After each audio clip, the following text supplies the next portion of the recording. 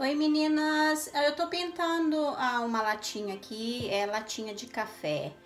E hum, eu tô usando a Chalk Paint. E eu vou mostrar pra vocês a melhor maneira de pintar lata, pintar vidro, pintar hum, candelabro, é, é com uma esponjinha assim. Então menina, é só, meninas, é só ir batendo a tinta na lata assim, usando uma esponja e eu tô usando a Chalk Paint a rosinha bem clarinha.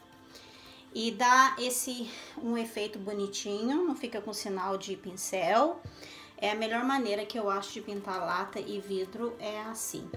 E depois que tiver pintado tudo sequinho, passa cera ou então verniz transparente.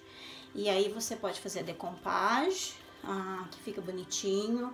Se quiser também, pinta e põe tecido em volta. Tem vários jeitos de, de pintar a latinha. Então tá, só uma dica pequenininha para vocês aí. E fica com Deus então. E um abraço para vocês. Tchau meninas, tchau.